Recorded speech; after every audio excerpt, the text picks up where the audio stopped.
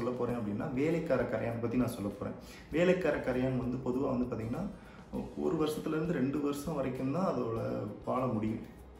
அதுக்கப்புறம் அதோட சைஸ் வந்து பார்த்திங்கன்னா எல்லா கரையானையும் விடையும் அது ரொம்ப சின்னதாக தான் இருக்கும்.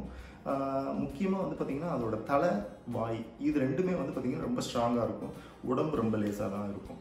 அதே மாதிரி இது வந்து என்ன வேலை பார்க்குது? இந்த இன்பிட்வீன் அந்த ஒன் ஆர் டூ இயர்ஸ் இந்த ஒரு வாழுது இல்லைங்களா? இந்த வாழ்கிற டைமில் வந்து பார்த்திங்கன்னா கூட்டை மெயின்டைன் பண்ணுறது கூட்டை பாதுகாக்கிறது கூட்டை கட்டுறது அதே மாதிரி ராணியை பார்த்துக்கிறது முட்டையை பார்த்துக்கிறதுன்னு சொல்லிட்டு இந்த மாதிரி நிறைய வேலைகள் பண்ணிகிட்டு இருக்கு. இதில் வந்து பார்த்திங்கன்னா